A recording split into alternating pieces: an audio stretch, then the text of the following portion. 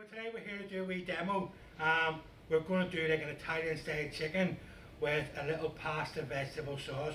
So nice and healthy, sort of, um, as much as we can. And uh, the, the, the sauce itself and the, and the pasta, we can use it as a vegetarian dish. So it's, it's multi, we can mess about with it a wee bit. Okay, so what we're going to do, we're going to start with the chicken. So these are chicken breasts. Um, we've taken the breast off the, the actual chicken. Um, it, it's more economical doing it like that, um, far more economical doing it like that. But if you can, maybe in a later demo we'll show you how to do that. But just for the sake of today, we'll use large chicken breast. And what we're going to do with that large chicken breast is cut it in half, lengthwise. So I'm cutting it out, I'm filing it out, almost taking it right the way through. So I have two scallops, okay?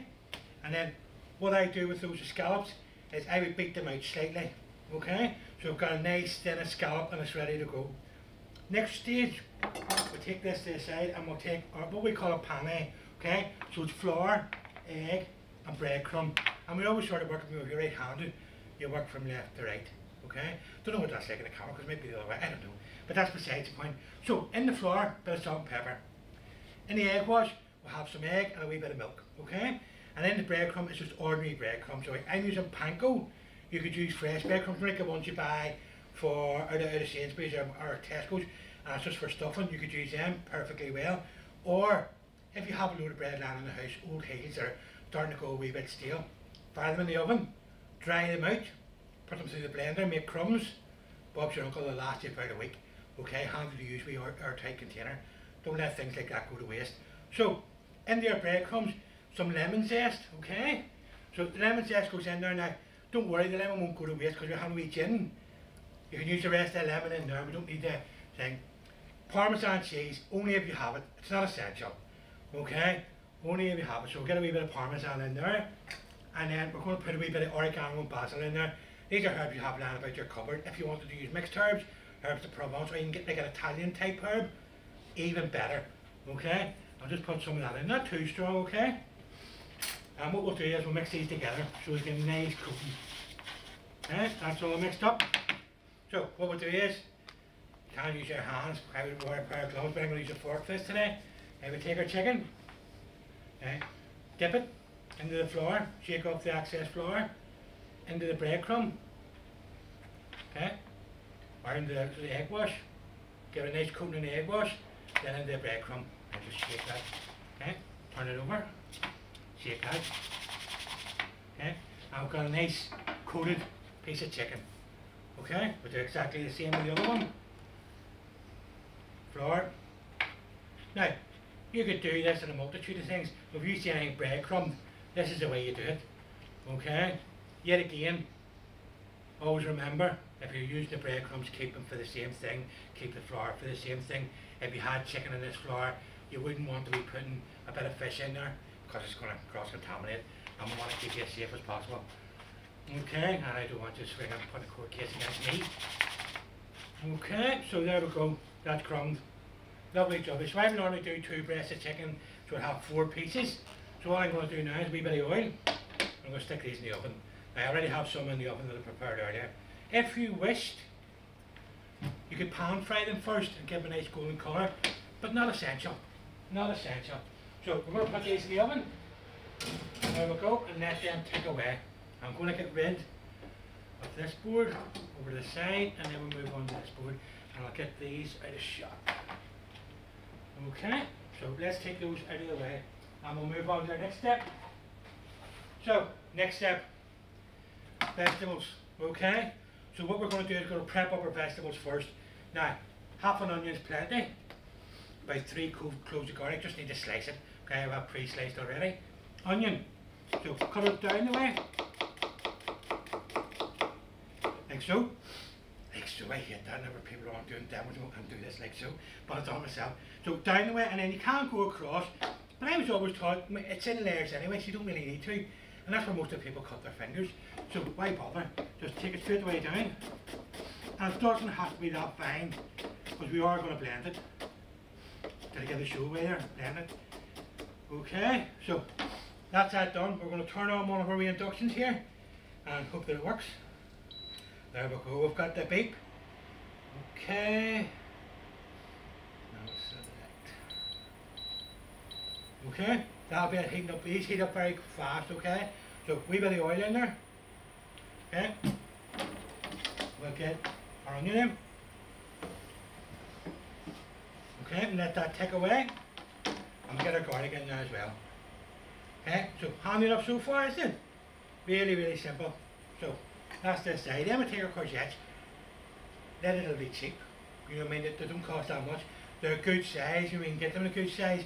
So two, plenty for this. Eh, and what we want to do with these is top heel. Get rid of our rubbish and remember, compost out the back for the gardens. Get your herbs growing. And that's another thing, you if you are going to grow herbs or something, those, those are punches of flavour. It's the same as a lemon. It's a wee punch of flavour. So if you were growing herbs, wee rosemary bush, brilliant. Throw it into things, get a bit of you know, flavour in.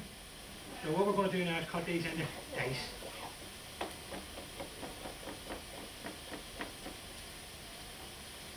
And you take your time and don't cut your fingers. I want that now, would I? Okay? Nice size dice, that says on the way.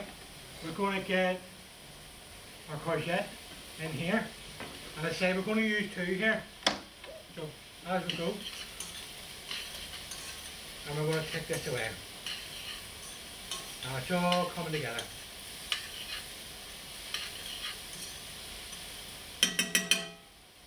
Nice and handy.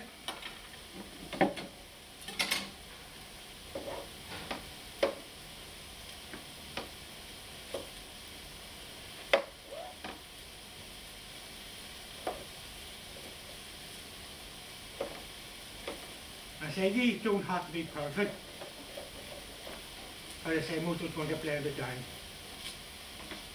I say most of it.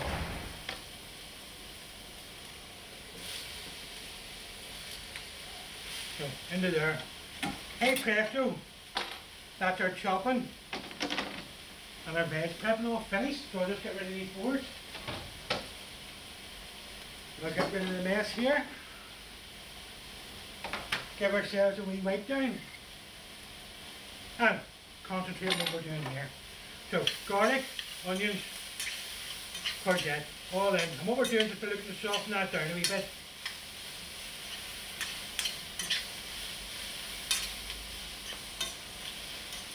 So we don't want to cook it too much or we're going to use all the colour, use all the natural vitamins in it. So what I'm going to do now, I take a little container and we're going to take some of this out, okay, and we're going to put that back in again to allow for texture, okay, because we don't want just a smooth, smooth sauce. So I'm taking some of that out, set that to the side for texture. Okay. Now, at this stage, I'm going to add some vegetable stock to it. So, all vegetarian. Okay? That's sizzling away. So I want to cook that down and let that work away. Okay? At this sort of stage, we're sort of halfway there. Um, our chicken's in cooking, taken away there. It'll be almost ready soon. Our sauce is taken away. We'll have some of this out for texture and we'll have our pasta already pre-cooked. Now, yet again, you can buy those little sachets of pasta. I know we buy them in the house for the kids because they're handy, because there's only one of them eating it, and that's all I right. But a big bag of pasta will cost you buttons. Get it cooked, cook in batches. Maybe you put in a backpack bag, or just put in a CD bag, throw it in the freezer. It's ready to rock and roll. I'll save you an absolute fortune. Just hope it don't set off a smoke alarms here. So if I would do such a thing. Okay, so that's taken away now. Okay, what I'm going to do, um, we can do this all in the one pan. Okay, now what I have here is a fancy blender, okay? You can use um, an ordinary sort of RoboCoupe, like liquidizer type thing, a bar blender, what you would do your smoothies in or what you would make your mojitos in at the weekend when you're having a good time. You could use uh, a stick blender that you can get in Tesco's for about five pound and when they're done, they're so right because that's it, you know, I mean, you've got your eggs span out of them. Uh, but this is a rather fancy blender, so uh, will make a bit of noise. Okay, so just one. So what we're going to do now is they've started to soften down. It doesn't take too long. Remember, courgette is a soft vegetable. Okay? So what we're going to do is take all this and straight in. Try not to spill too much of it. Okay? That this side, turn this off. Okay? That's all done. So this is where the magic happens. You check the lid on, and we're going to get a wee bit noisy here. Okay, so when I turn that on, we're going to start off on a nice slow speed. And take it away.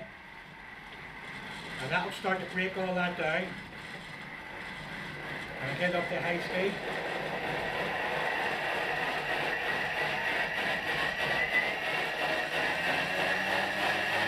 See, it is a bit noisy, but it does a good job. So while that's taken away, back into our pan, I'm going to put the courgette that we took out earlier. Okay? Put in our pasta that we already have pre-cooked. Okay, and I'll turn this back on again.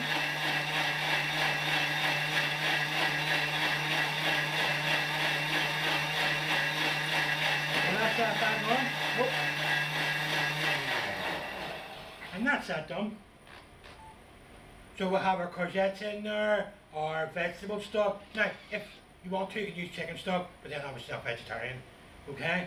So you could use chicken stock in there because we are doing with chicken, use a flavour. It doesn't really matter. Any sort of white stock. I'll just take that and leave that to the side. Take that off, of that. There we go. And then we take this off and you look at that sauce. Look at the colour on that. You know, it's vibrant, it's full of flavour and full of vitamins. It's good for you. My, my, my me do something. And I haven't put butter anywhere near which is really unlike me. Sauce, straight in. Okay? Mix that through. Uh, and at this stage, all we're doing is bringing that back up to heat. So now, we have a nice vegetarian dish. There we go. Okay, I'll just move this out of the way.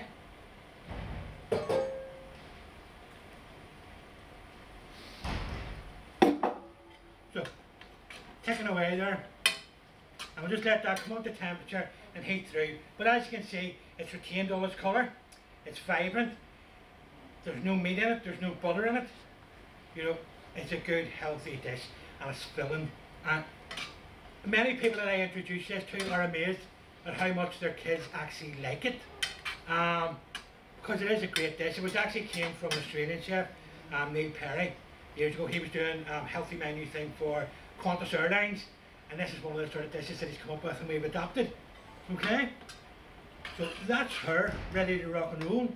So what I'm going to do now is get it into some of the, uh, the, serving dish here. And just be careful. Turn it off and lift the serving dish over. Um, so take my hammer to the molehill. So pass in. So you've got your sauce there, you've got the texture there with the courgettes that you took out. And if you wanted to, there's your vegetarian dish. Okay, we're going to take it a wee step further. We're going to take our chicken from the oven. Okay.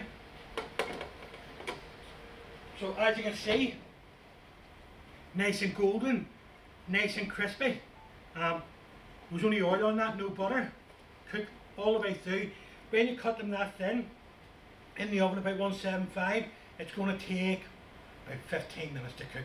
But always check, if you have a temperature probe, all the better. But not a necessity, always check. There's nothing wrong with maybe cutting a wee bit into it, just to make sure the middle's cooked and you're safe. Okay, next thing, chicken on top, and there you go. There's a hearty meal for dinner, lunch, breakfast if it's left over in your, you know what I mean? But it's really handy and how long does it take to make? Very little prep. Um, you get your butcher even to do your, your chicken fillets for you and get them sorted out so all you have to do is bread them.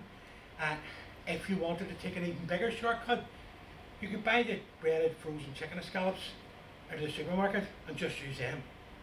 You if, if it works out cheaper or it's handier for you, but you've still got all the health benefits um, and, and all the goodness in the sauce, and it's a good hearty meal that'll fill you up. Okay, and that's me hopefully done for today, and we'll get this out, and hopefully you'll be trying that at home at some stage. Coming